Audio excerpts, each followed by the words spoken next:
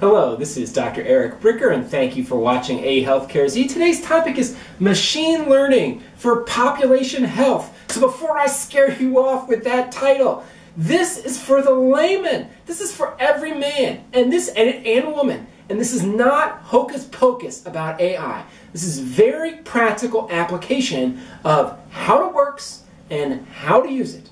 So here we go. So when we talk about machine learning, which is part of AI, keep in mind this is not what is this is not this is not human generated if then statements, right? So you hear the word algorithm, okay, but a lot of algorithms are just if then statements. And in the 20th century, like we use those all the time. If this happens, then do this. And we would tell the software to do that. I mean, I was literally taught that in computer camp when I was in the third grade in 1984, and we were using the BASIC, literally, the computer language was called BASIC, on an IBM PC Junior to make a tic tac toe game. So I was typing, I was coding if then statements, which was an algorithm. Okay? I will tell you, that was not AI. Okay? I just will not say that. I'll say it right That was not AI. Okay.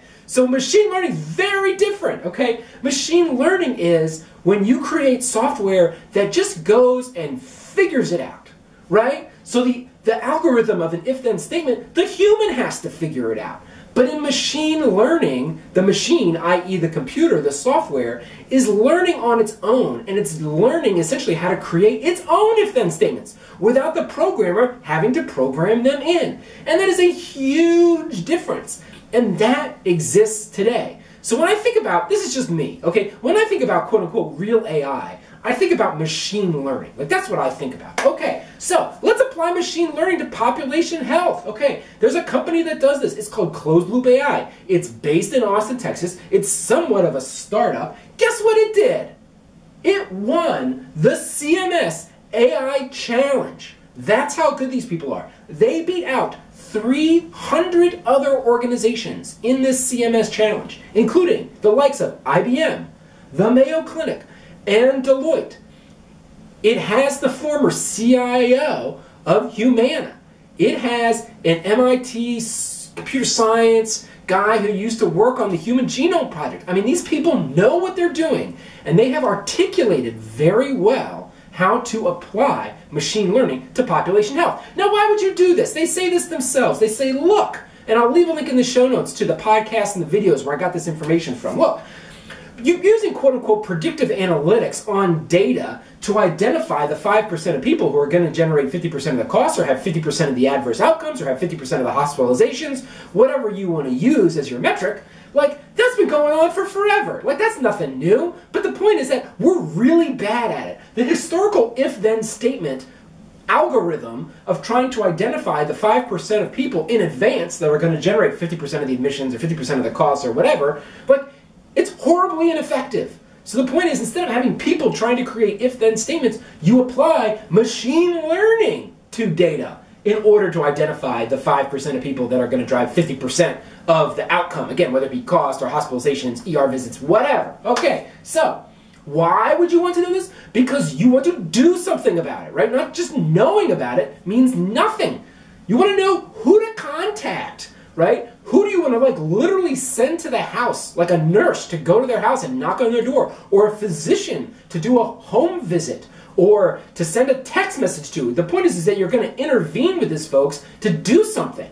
And I'm going to give you a very specific example of how closed loop AI did this. And but before I do that, they point out three aspects of machine learning that are super important. Okay, one is explainability. So the point is, is that machine learning is kind of a black box. So I'm like, okay, well, how did the software know to come up with that answer? How did the software know to come up with those particular 5% of the people? And the point is, it has to be explainable because it's you can't convince the people who are going to do the contact, the physician, the nurse, whatever. You can't convince them to effectively do their job if you can't explain to them why it is because the historical algorithms of the past were like, hey, nurse, you need to go visit Steve. And the nurse would be like, why in the world am I visiting Steve? That makes no sense. Like, to me as a nurse, You're showing me Steve's age and all this sort of stuff, his demographics, his diseases, and like, from my point of view, I don't think I should visit Steve. So you have to be able to explain why. And that's the reason that they won the, the CMS challenge is because they said, look, machine learning is not a black box. It needs to be explainable. And closed loop does a better job of explaining their machine learning than like literally everyone else. They do a better job than 300 other folks. Okay. Two, analyzing population health data has inherently been bias. And it's either been cutting people out who should not have been cut out, like entire populations of people, whether it's based on age or income or race or gender, whatever. And it's been put, it's been overemphasizing and putting other people in. So acknowledging that and explicitly programming the machine learning to address those biases is super important. So it needs to be addressed head on, not as an after, not as an afterthought. Okay, finally, it's okay to have messy data. People are like, so much of machine learning and you know AI, big data, blah blah blah, is like quote unquote cleaning up messy healthcare data. The point is, is that with machine learning, if the data is messy, it's okay. Why is that? Well, if you're a human being and you look at messy data, you're able to make sense of that. And the example that that the um, that the um, people from Closed Loop AI use is that look, if you identify, if you're looking at data and you're like, well, I don't see an ICD-10 code for diabetes, but then you see a whole bunch of prescriptions filled for insulin, guess what? The person probably has diabetes, even if the data's messy and they don't have an ICD-10 code for it. As a human, that's pretty easy for you to figure out. But the point is, is that you actually program the software to be able to figure that out as well. Okay, now, here's the practical application. During COVID, where uh, Closed Loop AI created the COVID 19 Vulnerability Index that was used by Johns Hopkins, the University of Texas Medical Branch down in Galveston, it's used by Einstein as well, where they said, hey, look, can we use machine learning and population health to identify who would be at high risk of complications for infecting COVID? Not who would get infected, but not where the not where the virus would be. Would it be in Atlanta? Would it be in Iowa? Not that, but just if you got COVID, what people would be at high risk of serious complications if they got it. And so they looked at 21 measures that were a combination of things like demographic, things like your age and your gender, chronic conditions like things like, okay, did you have asthma or COPD? Did you have sickle cell? Were you on hemodialysis? And then also they looked at, at, utilization. Had you been in the ER recently? Had you been uh, admitted to the hospital recently? And they looked at those 21 measures, and their um, machine learning was be, was able to predict with 80% sensitivity whether or not a person was going to be high risk or not when they got, you know, if they got COVID. So if they got COVID, would they be high risk or not? And with 80% sensitivity, they were able to identify that. Now, why would you want to do this? Because if you were a hospital system or a health plan, you would want to target preventive measures specifically for those high risk people. And especially in the early days of COVID, you'd want to do some sort of intervention. What were some of the literal interventions that were done? Again, this is not theory, this was literally done. It was done around food security. They identified people who were at high risk of, of serious complications of COVID, and they said, You probably don't, we don't want you going to the grocery store where you might pick up COVID. So like we're literally going to arrange for like groceries to be delivered to your house, or we're going to work with your family members to make sure your family members can bring you groceries. Okay. Two, they made sure that these people, especially, got home delivery of their prescriptions, so they were not leaving their house to get their medications filled, or just going out without their prescriptions because they're like, well, I'm too scared going out of the house because of COVID. I'm just not going to get my prescriptions. So they they had specific interventions that they could do as a result of this model as a result of applying machine learning to population health.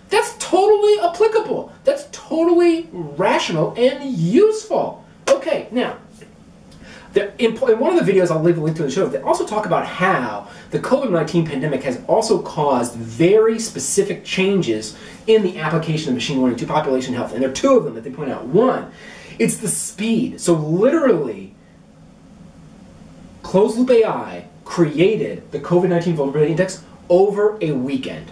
They did it in a weekend. Now, they did that because they already had a platform upon which they could apply data and do things in the programming world of machine learning to make that happen. But the point is, is that if you kind of have the framework in place of how to do this, these projects don't take five weeks or five months. They can take five days. So you can do this faster. Why is that useful? Because new clinical situations come up, new populations come into to your organization that you need to address. You need to be able to move fast in terms of how you're going to be addressing specific populations with specific health challenges. And this model allows you to do that. Number two, and I thought this was fascinating.